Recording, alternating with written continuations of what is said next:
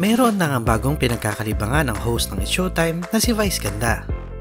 Kahapon nga ay naikwento ni Vice sa kanyang mga co-host na sina Kim Chu at Vong Navarro ang kanyang bagong nadiskubre at kinaaaliwan na South Korean boy band na BTS. Kahapon din ay mapapanood ang ilang mga video ni Vice kung saan makikita na tuwang-tuwa ito sa ilang mga BTS merch na galing sa kanyang kaibigan. Sabi mo? Oo, yung pag, siguro pag nagka-concert sila abroad, yung kahit hindi ako susunod sa protocol, yung magpapakulong na lang siguro ako. Makapanood ko lang sila sa personal. Ay, ano to? V! Ano yun? Ano to? Kuya, Tila kinikilig naman ang ilang mga fans ni Meme Vice na mag-upload ito ng mga video sa kanyang social media. Sa video ay mapapanood na naglalakad ang dalawa ni Ayon Perez. Maririnig naman sa video na pabirong tinanong ni Vice si Ayon kung ano daw ba ang ireregalo nito sa kanya sa kanilang mansary.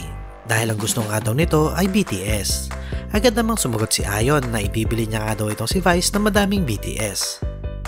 Ayon kay Vice Ganda ay suportado nga daw siya nitong si Ayon sa kanyang mga kabaliwan. Napasana all naman ang iba na sabihin ni Ayon na bakit daw ba siya magsiselos eh kung doon naman daw niya nakikitang masaya itong si Meme Vice.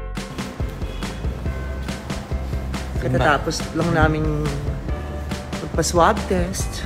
Ano naman? Mga addict kami sa swab test. Oo. Simbahan din, every five days.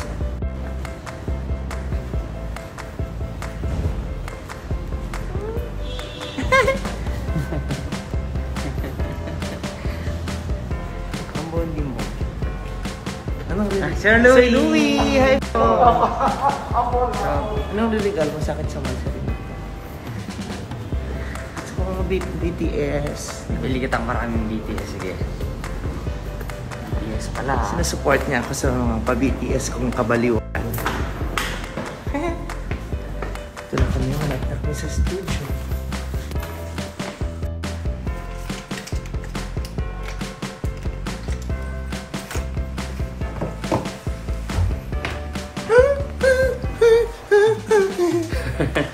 Adik ka na sa BTS, babe. Baka magulat na lang ako. Isang araw, yung muna natin, puro BTS na yun. Sakto pa naman, pito yun. Isang mahaba, anim na maliliit. Huwag kang magsiselo sa BTS, ha? Hindi, hindi ako magsiselos. Paano ako magsiselos? Mga baby natin sila. Saya ka dun eh. Sila V, eh. sila Jungkook, sila Jimin, Si Jong Kook.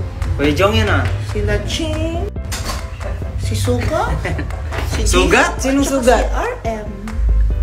Siya yung mga baby na. Nawala na iwan tong kitchen.